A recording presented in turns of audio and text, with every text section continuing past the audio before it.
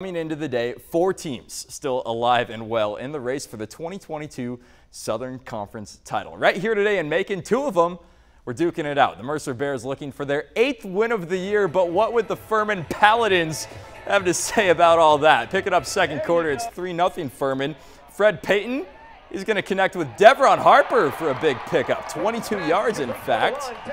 And the Bears are moving and grooving. How you cap it all off? Payton off the play action, Ty James hanging out in the end zone for six. Right there whenever you need him, Mr. James. The Bears go up seven to three. Same score, Furman in their own territory. They're going to go for it on fourth and one. Kind of a gutsy play call here, but Big Robert Johnson says, not gutsy enough. Stuffed by the Carrollton High School product. Shout out Ashland. Turnover on downs, but Mercer can't do anything with the ball. All right, skip ahead a little later. Furman ball again. Quarterback Tyler Huff scrambling for a 35-yard pickup coming right into your living room.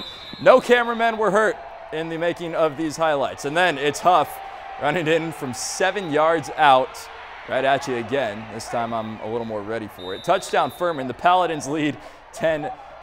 Third quarter now. Guess who? More Huff. Connecting this time with Joshua Harris for 56 yards on the tutter.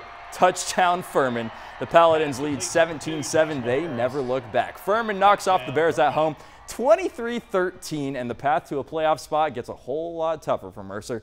Samford in the regular season finale next week. The number one ranked Georgia